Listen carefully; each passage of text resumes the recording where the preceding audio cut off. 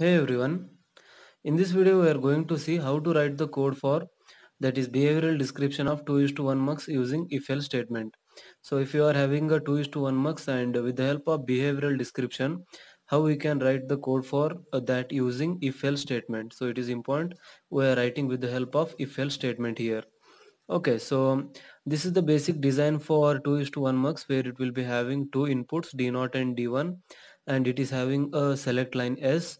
So depending on the value of select line if it is 0 it will be selecting d0 and if it is 1 it will be selecting d1 to the output. So it is just like many to one output. So where it will be just uh, bypassing the input to the output. So it is not uh, doing anything else rather than this. Okay. So here is the enable bar pin. So what it does is in case of mux if you assume that it is active low so in this code i, I assume that it is a active low type of uh, mux where if enable bar value is equal to 0 at that time the mux will be operational. And if enable bar value is equal to 1 at that time it will be in the off state. So that is the significance of enable bar which indicates whether the mux is on or off.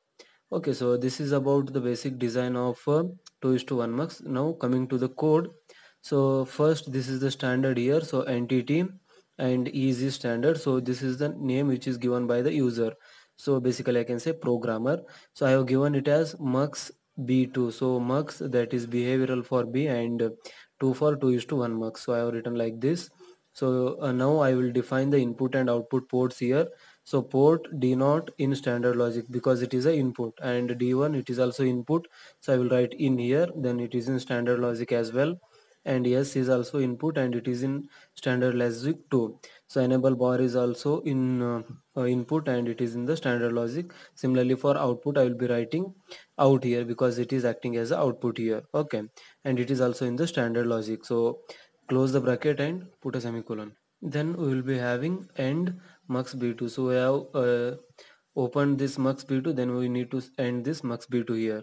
Okay. So uh, apart from this now uh, the architecture begins here. So architecture behavioral of uh, so whatever the name which I have given in the above so that should be given here. So it is not b3 it is b2 only because the same name should be used in the both cases. So we are just calling this uh, function over here.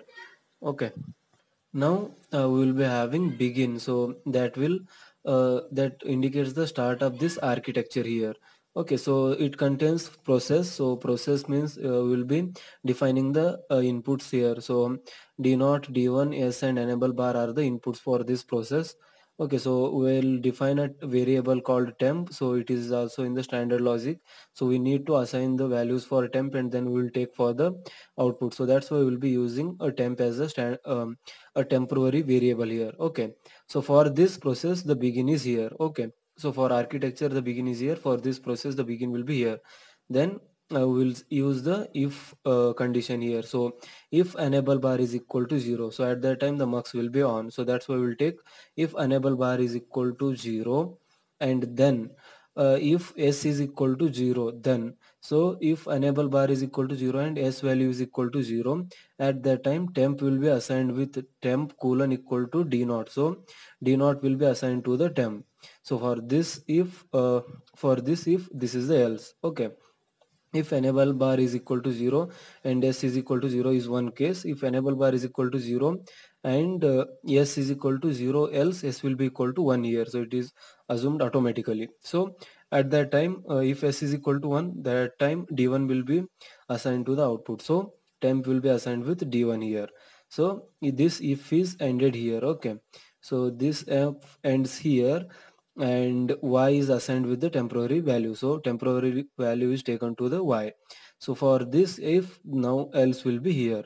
So if uh, then else. Else means enable bar will be equal to 1 at that time we know the mux will be in the off state. So we can say directly the output will be equal to 0 so y is assigned with the value 0 here. So and if so if this if loop is ended here then this process is end process and this end behavioral. So behavioral module will be end here. So end behavioral.